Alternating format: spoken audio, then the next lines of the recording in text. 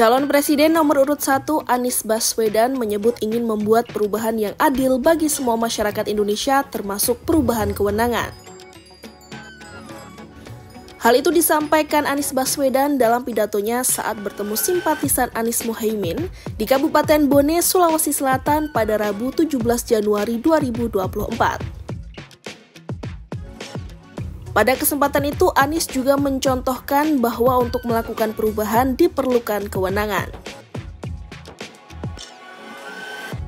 Ia pun mencontohkan keberhasilannya menutup Alexis saat dirinya menjabat gubernur. Di Jakarta, dulu ada satu tempat namanya Alexis. Tahu Alexis?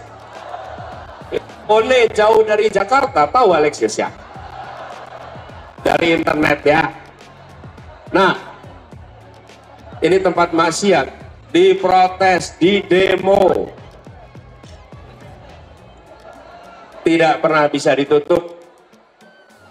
Diprotes, di demo tidak pernah bisa ditutup. Lalu terjadi perubahan gubernur. Di tahun 2017 ada gubernur baru.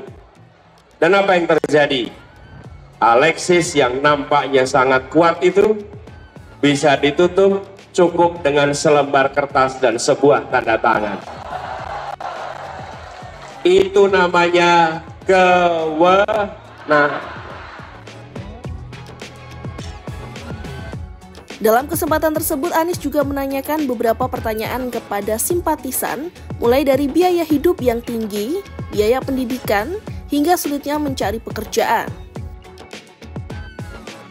Para simpatisan pun kompak menjawab pertanyaan Anies dengan meneriakan kata perubahan. Anies pun berjanji akan mengusung gerakan perubahan agar harga sembako murah, lapangan kerja tersedia, dan pupuk untuk para petani pun tersedia dengan baik.